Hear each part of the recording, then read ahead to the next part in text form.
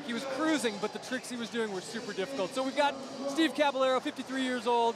He's got his name on some banners. Wow, first time that we have seen Cab Whoa. today. Cab did not have to skate the semifinals, got the free pass because of his prior year success.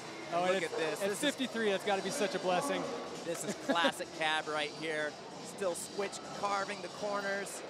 Yeah, I mean, the, the stress of getting through those semis is exhausting. Hey, and when you're a million years old, exactly. it's hard to skate that much. Yep, well. Hey, I'm not as old as these dudes, say, I know. We're, we're, I know. I'm 44, and it's hard to skate we're on three our sessions. That's right, but look at Cab killing it right now. Front lip, that board slide over the hip was insane. Wow, that is oh time. Tricky spot to end his run. Give it up for Steve Caballero. That gray beard is some wisdom in the combi pool right there, man.